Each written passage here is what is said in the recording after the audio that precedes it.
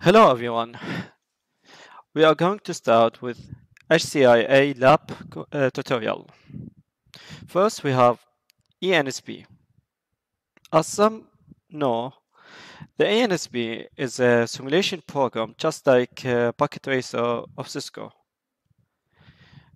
In this program we are going to simulate an, um, a configuration of labs that require for the HCIA certificate. I'm not going to explain a lot of the protocols or the uh, configuration in details, only such in lab because that it would take a lot of time. So first, let us uh, uh, have some brief introduction on the NSP. As you can see, it's the start page of NSP. At first, you should have install the VirtualBox uh, machine and the Wireshark. It's uh, it is discussed here. What is the service requirement for the CPU as a hardware and the software we need VirtualBox and the operating system requirement, the CPU, the memory, the disk space. At first, we have this uh, startup page of ENSP. At the startup page of ENSP, we click on new topology. As you can see here are the network elements. We have routers, we have switches, we have uh, WLAN, we have firewalls, we have end devices such as client, uh, mobile, and we have uh, cloud hub and the cables connections. At first, we have these modules of routers. As you go through the um, training uh, materials of learning uh, materials of HCIA, it will discuss about the features of each device. It may, such as like this feature is included in this module, this feature is not included. You can test it out in, on ENSP. First, we are going to drag an router. At first, we need to start it running by selecting it oh, or right click and select start or select and from here we say start device.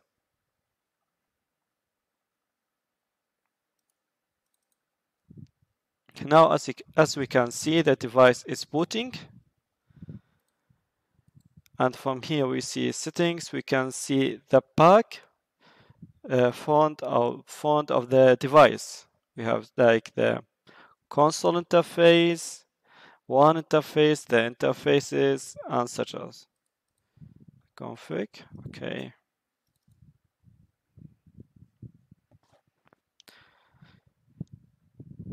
Okay, at first we have starting of the device. By default, it will take the name Huawei. I'm going to discuss some brief commands for this first video of the tutorials. At first, I'm going to display the, for example, the time. As we can see, it's stating that this date and as a time zone we can uh, change it. We can um, as as much as we can. It's not a problem. Okay. So to change the time we simply we simply use clock datetime and it will give us the, the format required for us like hour later specified by minutes seconds and for example going to for random for on the tutorial we say hour 3 minutes is 15 and two seconds. Now, specifying the year, 2020 and 12 to, okay. For now, we we can see the time, the date is changed.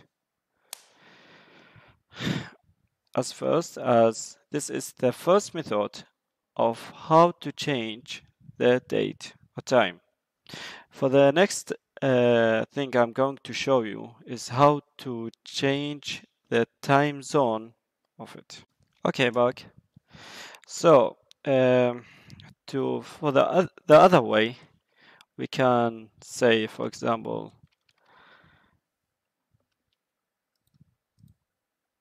wait a minute, one second. We can say clock, time zone, and the name of time zone. And uh, for example, for example, EST. Now we say, for example, add and specify the the time zone offset. This is another way to change the time. And the third way, not required, such as uh, using the network time protocol NTP.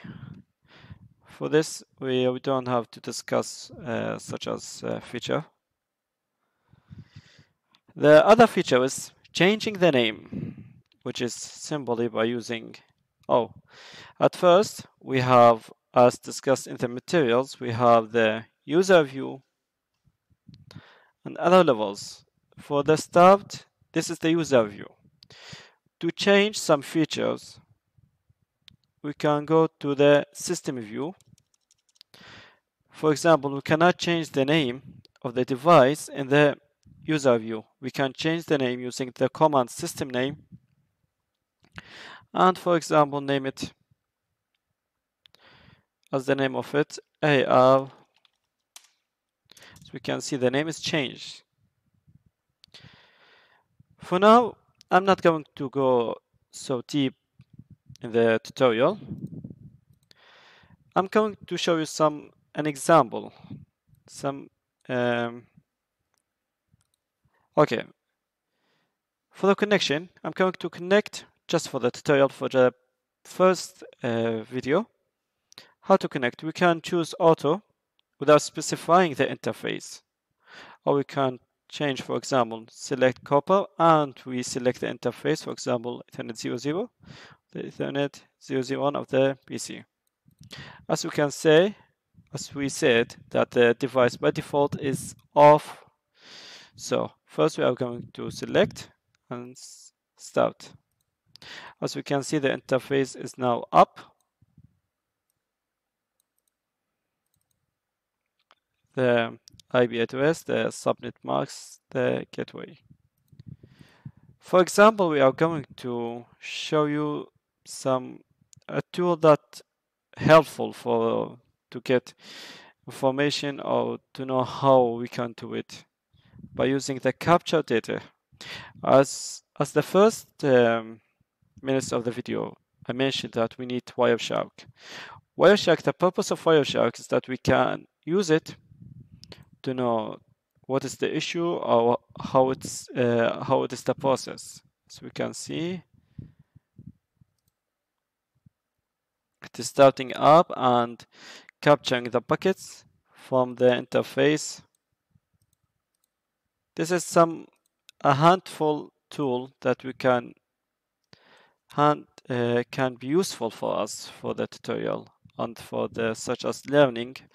And maybe in troubleshooting we have an issue we simulate it then we say wireshark show us the information and help help us with it okay i'm not going to make it much longer for this first video because the first video is only introduction to the NSP and for other for our course. Thank you a lot.